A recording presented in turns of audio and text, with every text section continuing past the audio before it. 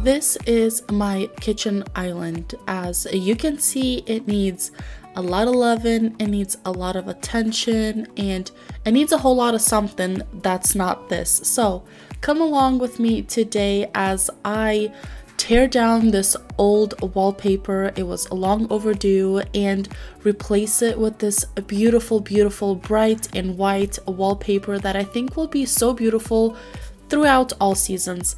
Also, come with me as I use new tools and do things that I have never done by myself and including using a nail gun. That to me is a big deal. So, come along with me as I transform my island looking from something boring and bland and kind of outdated into something completely different and beautiful.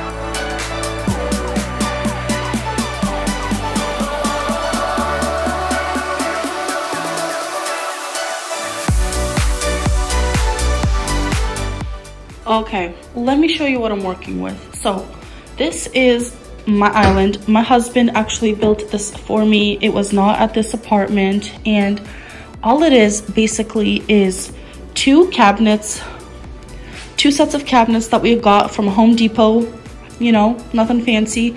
We got a butcher block. We put that on top. And then for added support, he went ahead and added some brackets over here. So it has been serving us amazingly. Um, yeah, we have six of us living here, not the biggest kitchen in the world. So this is great for extra counter space and it is great for extra storage. I mean, hello, but since these are two cabinets, this is what happens 90% of the time. So, you know, the island shifts a little bit left and right. It cracks right here in the middle. And, you know, this is where the seam is between the two cabinets. And well, when I sweep the floors or mop the floors, I touch the wallpaper, it kind of comes off and it's just not a pretty situation. So what I wanna do today is take off this wallpaper, put some beautiful new wallpaper on it as well as some boards. I think it'll be the cherry on top and it will prevent it from cracking in the middle, in the seams, and on the bottom. But not only that, I had my kiddos over here painting their nails and you know stuff happened. And if you're wondering um, my daughter was painting her toenails right here. So you can imagine how that was that was. So there is um, nail polish I need to get off. I want to try I tried using all the natural stuff and it just wasn't working so I'm gonna take a nail polish remover get that working as well as my chairs over here so you know, nail polish everywhere. This is clean. There's just nail polish all over it. So the first thing I'm gonna do is start by cleaning this island in the chairs and then I'm gonna start by removing this wallpaper.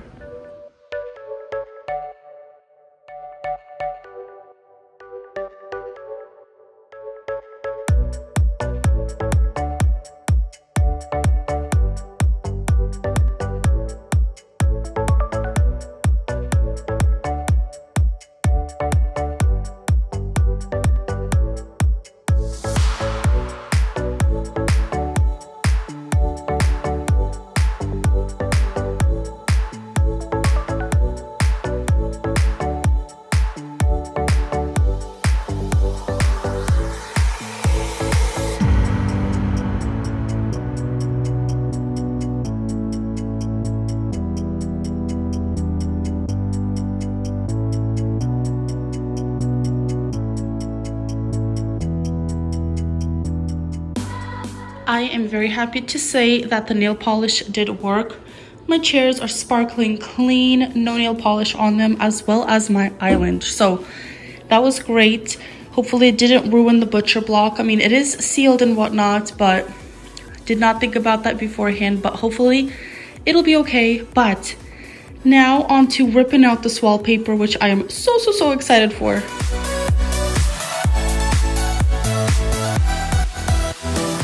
And let me say that I have had so many different wallpapers up on this island and you know from that crack in the middle you know the wallpaper always cracked and you know it was just time to kind of give it a more of a permanent solutions but from all the times that I've had wallpaper on this island this was probably the most hardest time it took to take off this wallpaper. I don't know if it was something to do with the brand or what, but this was a struggle.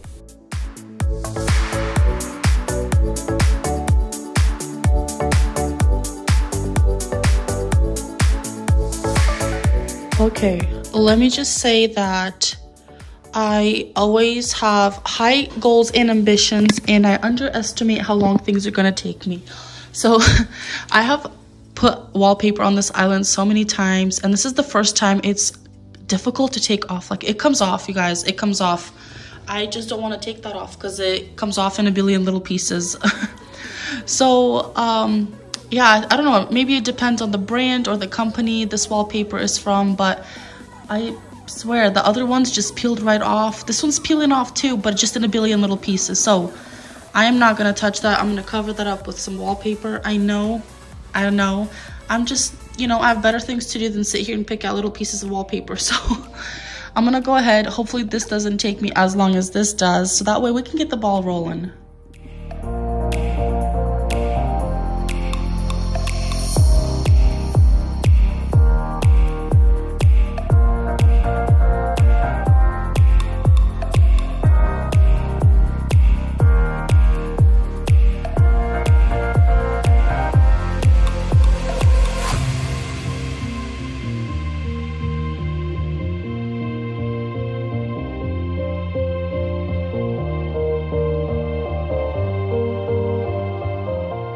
All right, we have made progress. 10,000 decades later, um, she is finally clean.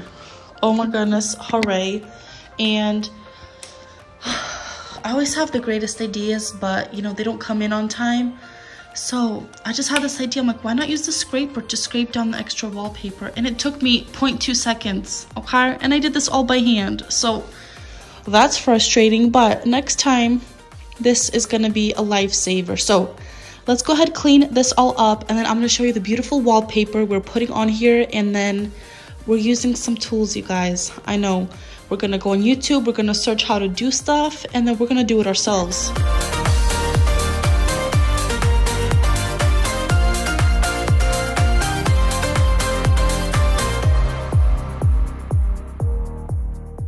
Okay, here are our ingredients. Of course, the start of the show is this beautiful wallpaper how pretty. And i think it's gonna look beautiful throughout all seasons. It's very neutral right up my alley but i'm to be using this thing. It looks very intimidating and i have never used one before. My husband's usually the one you know doing it all. And you know what? It is time to learn a new skill. That way i can be an independent woman. You know what i mean? But i'm gonna take a little bit of time research how to use this bad boy I went ahead to Home Depot yesterday and picked up these trim. I don't know what they're called. The little, little boards right here, but if I measured correctly, it should be enough to make it go all the way around and then put one in the center. So that way we don't have any more cracking happening. And to cut that, I will be using this. And you guys, if you have a handsaw or a, a, little shop outside, this will take you two seconds to cut, but I live on the third floor and I don't have a saw here in my apartment, so we're doing it the old fashioned way. It's gonna take a little bit longer, but it's gonna get done. So I'm really excited, a little bit of nervous, but hopefully it turns out okay.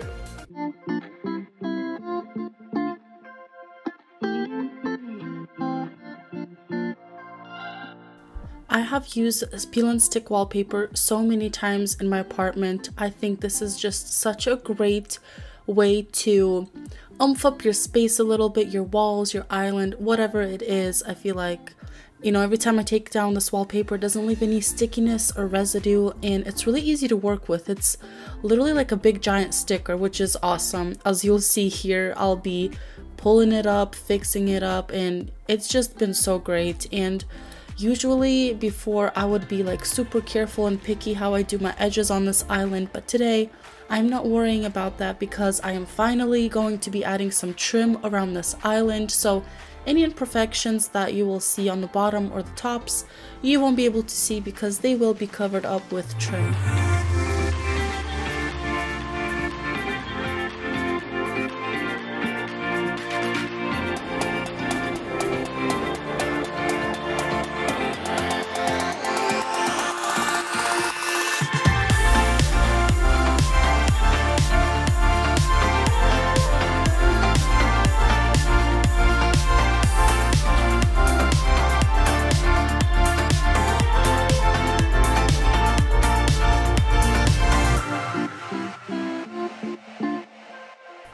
Now that the wallpaper is on the island, I just took some measurements and I'm starting off by cutting up the top and the bottom trim. And you guys, my husband is usually the one that does the hands-on work behind all my makeovers or all my crazy ideas, but I just feel like it is it's great to have that help, but then I also feel like it is so great to learn and master a new skill. That way you don't have to be dependent on anybody. And not that being dependent on somebody is a bad thing, it's not, but I just feel like it's really awesome to be able to do things by yourself and it just makes you that much more proud of your work. But yeah enough of that. Here i'm just measuring the boards that'll be going up and down on this island and cutting them to size and then we'll be using a nail gun to attach these boards onto the island and had to call my husband a couple times to be honest to figure out how to use this. Had to watch a couple youtube videos but in the end we got it done and it's not intimidating at all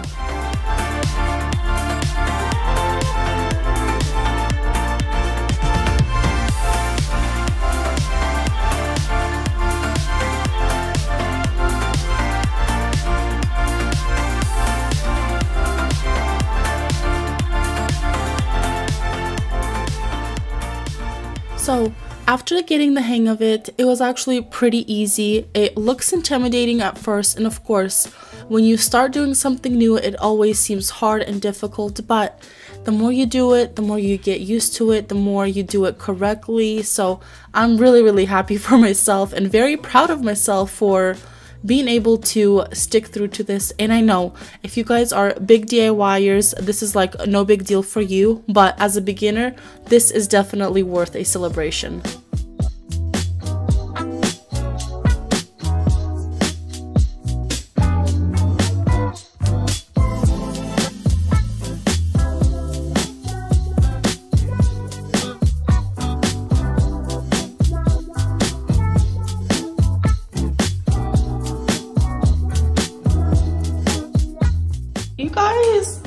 I am so stinking proud of myself. Like, this work right here is beautiful.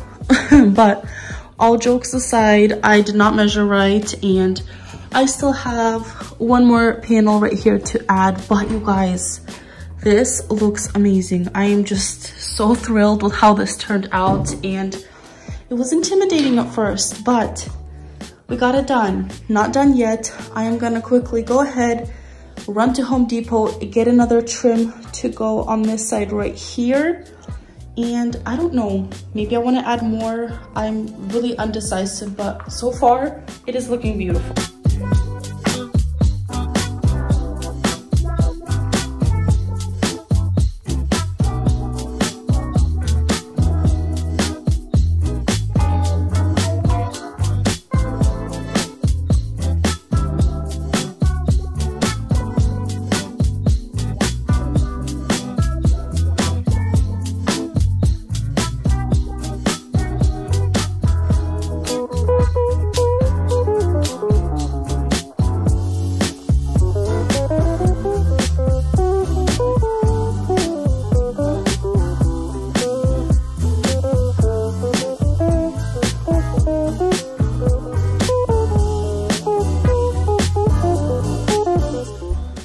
That I have made it back home, I'm going to measure the last panel, cut it down to size, nail it back onto the island, and that is as much as I'm doing here. And I'm just so thrilled and so glad with the way everything came out. It is pretty beginner, so if you are a beginner also, you can do this.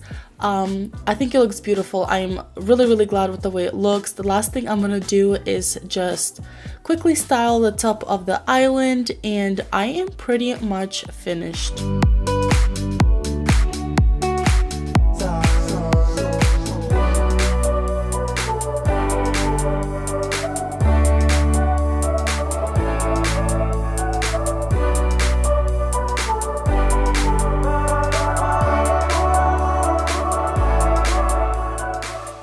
Now just adding some final touches for the cherry on top and looking back I cannot believe it took me this long to do something about this island. Like I should have, have put a trim around this island day one but it just never got done. Now it is looking so beautiful so fresh so clean. I am living for it. If you guys enjoyed this video, I hope you consider sticking around for more content like this and I will see you soon.